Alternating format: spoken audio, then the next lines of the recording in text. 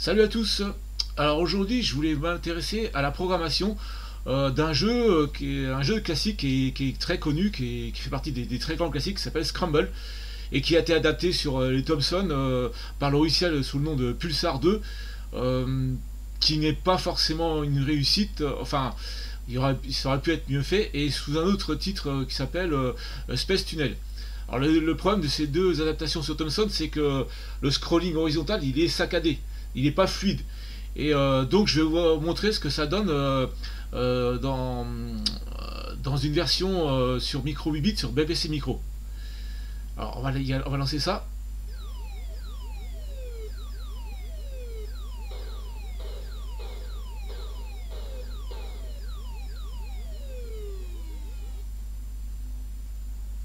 Donc comme vous le voyez ici, euh, le scrolling est très fluide et pourtant c'est un micro qui a 2 euh, MHz euh, avec un 6502.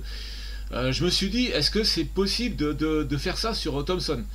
Alors d'abord, je, voulais faire, des tests en basique, et là, ce que je vais vous présenter, c'est des tests en basique de, ceci. Et en fait, alors que là, sur la version BBC Micro, on tourne à 20 images par seconde, et eh bien en basique, pour un truc fluide, en déplacement à 4 pixels par 4 pixels, j'obtiens du 5 images par seconde. Et eh oui, j'obtiens la même chose que ça en 5 images par seconde. Démonstration. Donc là, je vais sur 2. Je fais run.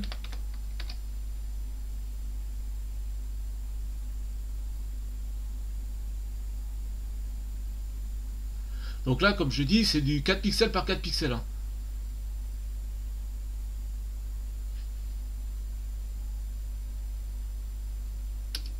Voilà. Donc c'est du 4 pixels par 4 pixels et donc c'est du basique. Alors je vous invite, euh, si vous êtes curieux, à me poser des questions sur, euh, sur les commentaires de cette vidéo YouTube pour savoir comment j'ai fait. Je vous dis à très bientôt pour une prochaine vidéo.